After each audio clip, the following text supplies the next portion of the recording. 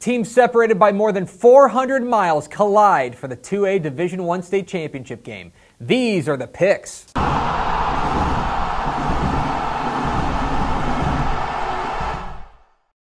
Welcome into the picks presented by All Star Inflatables, your guide to Texas high school football state championship games. My name is Greg Tepper of Dave Campbell's Texas Football and TexasFootball.com. Thank you so much for tuning in. Today, we're previewing the 2A Division One state title game. 7 o'clock Wednesday night at AT&T Stadium in Arlington. It's the Class 2A Division One state championship game between the Post Antelopes and the Refugio Bobcats. What are the keys to this matchup? Key number one, small school superstars. I'm really excited about the small school state championship games because they're televised, and every one of these games are going to be on Fox Sports Southwest, and that is going to give the entire nation an opportunity to see these small school stars. When you look at Refugio, they are absolutely loaded with quarterback Austin Ochoa, wide receiver Jordan Kelly, and Ysidro Mascoro, who can do a little bit of everything. On the post side, they've got an outstanding bevy of running backs led by Ashton Jefferson. And this Tatum Thetford kid, you got to see him to believe him. This guy is a walking mismatch at the 2A level, and they're going to find interesting ways to get him the ball.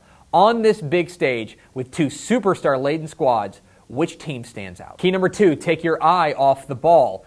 I know I just got done telling you about all the star power that's at the skill position spots here in this game, but I don't think it's going to matter. I really think that this game is going to be won and lost in the trenches because these are two teams that both pride themselves on being the more physical squad. And by the way, both these teams have really good size for a 2A squad. They are able to dominate up front on both the offensive line and the defensive line. Uh, it doesn't matter what kind of superstars you have on the outside if the play is being blown up up front or if the offensive line is just dominating. So, who can win in the trenches where it matters most? And key number three this is weird. Okay, let's just acknowledge a few things about this game. First of all, these are two teams that have no idea what each other is about. Okay, they are separated by more than 400 miles. They may as well be on different planets. Post has not thought about Refugio, and Refugio has not thought about Post until this moment. That's weird. Also, 7 p.m. Wednesday kick. That's weird. They're playing on a Wednesday night. They're also playing in basically a spaceship in Arlington. AT&T Stadium is a wild atmosphere and handling that stadium is very difficult. And oh yeah, by the way, the game is going to be nationally televised on Fox Sports Southwest.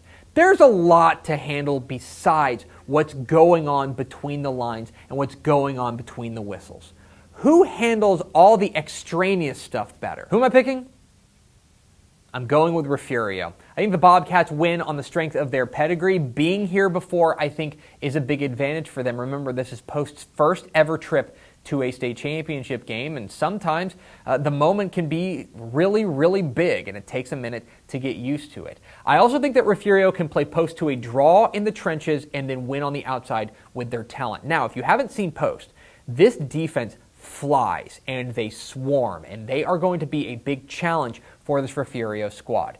But I think in the end, this is a close game into about the third quarter when Refugio's individual playmakers step up and make plays. I think the Bobcats bring home the 2A Division 1 state title. And those are the picks. What am I wrong about? Leave comments down below. Don't forget to hit that subscribe button.